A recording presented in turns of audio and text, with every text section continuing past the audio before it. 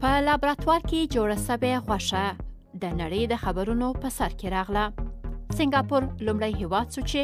په لابراتوار کې د چرګ ودی ورکړل سوي غوښې ته د پلور اجازه ورکړه خلک وایي دا د چاپیریال لپاره هم ښه ده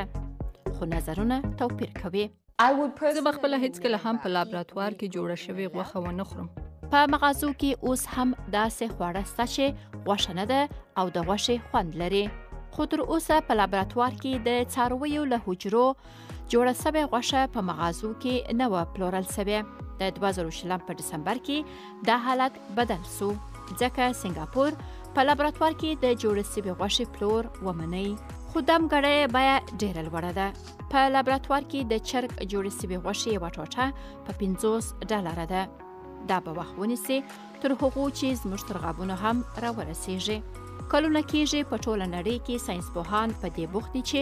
داسې تولیداتو ته وده ورکړي چې د غوښو خوند او رنګ ولري خو خلک یې یوازې په خوند نه دي خوشاله بلکې دې ته هم خوښ دي چې تولید به یې پر چاپیریال مثبت اغېز پرېږدي دا د غوښې د خوړو پاکه، خوندي او دوامداره لاره ده. جاش جس ایټ ته کار کوي. دی په لابراتوار کې په جوړې شوې غوښې خوشاله دی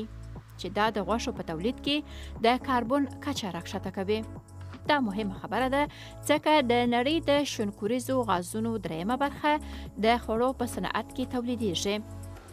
د کاربن لویه برخه د غوښو او لبنیاتو په تولید کې جوړیږي په نړۍ کې د غوښو د تولید غوښتنو په لوړېدو سره د کاربن کچه هم لوړیږي پر دې سربېره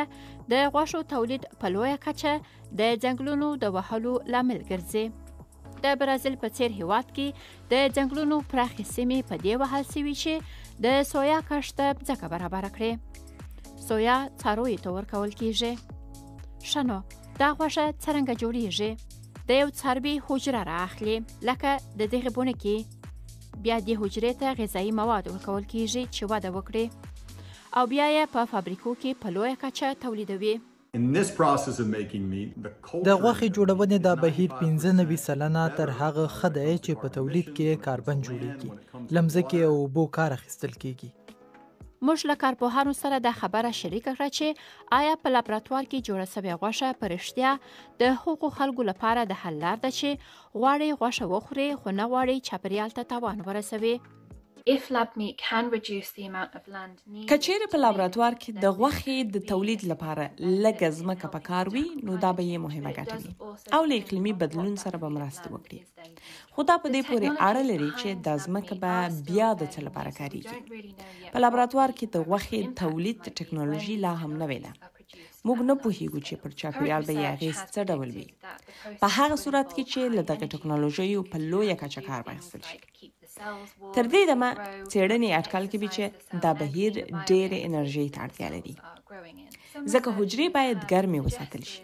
او هغه بایو ریاکټر چې حجرې وده پکې کوي باید پاک شي زیرو ساينس پوهانو وړاندیز کړی چې چیرې په لابراتوار کې د غوښو د تولید صنعت داسې انرژي وکاروي چې کاربن تولید نه کړي او له بیا نوي کېدونکو سرچینو کار واخلي نو ښه به وي که داسې ونه شي نو اقلیم ته به یې تاوان ډېر وي آیا د لابراتوار غوښه به په نړۍ کې دود سي؟ فکر نه کوم په جنوبي افریقا کې دې دود شي زموږ طبیعي غوښه او هر څه طبیعي خوښ دي.